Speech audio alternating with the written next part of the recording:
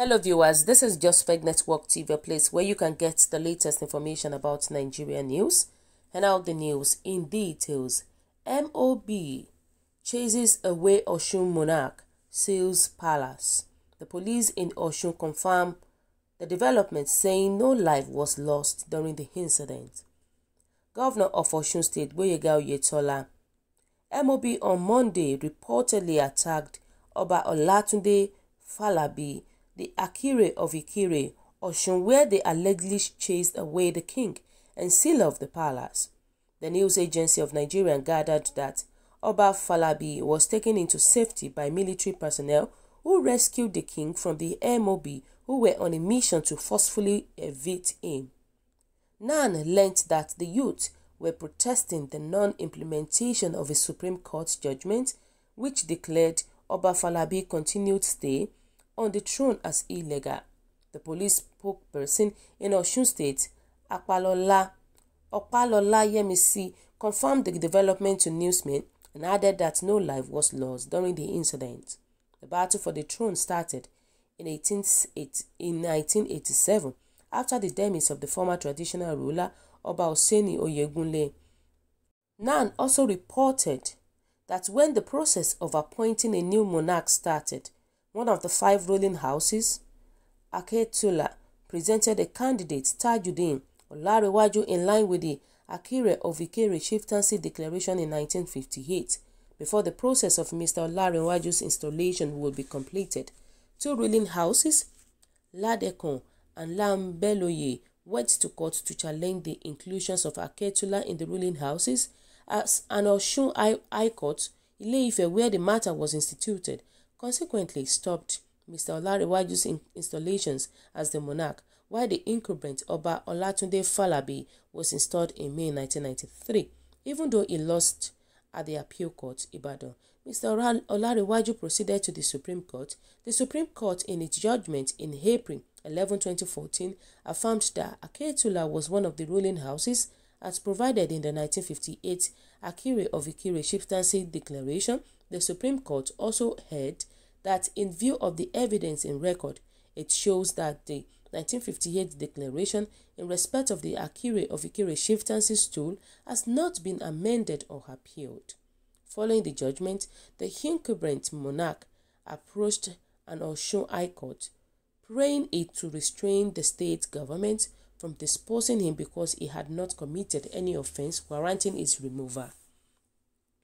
He also pleaded with the court to restrain the state gov governors, the commissioners of justice, local governments and chieftaincy affairs from disposing it while his incumbency subsisted.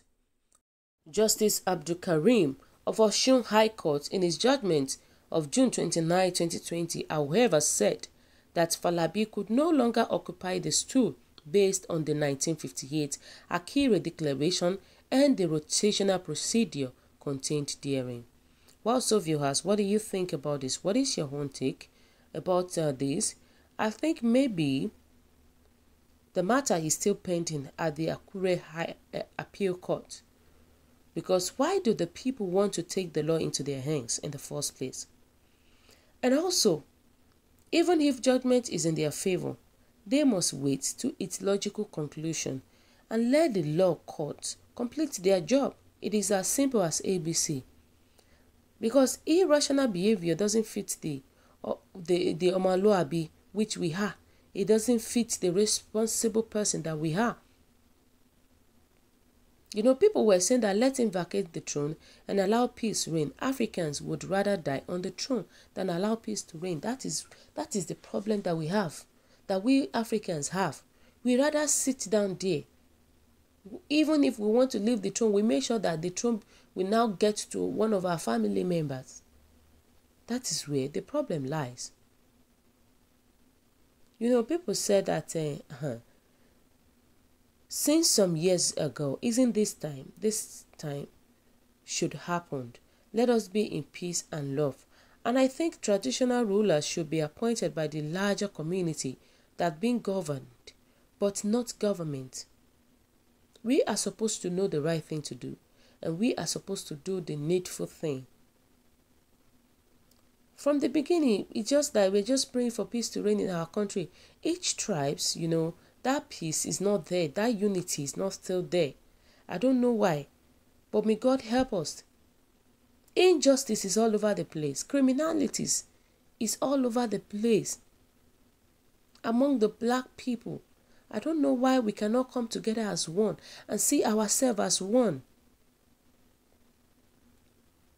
You know, people say traditional rulers should mind their business and abstain from politics.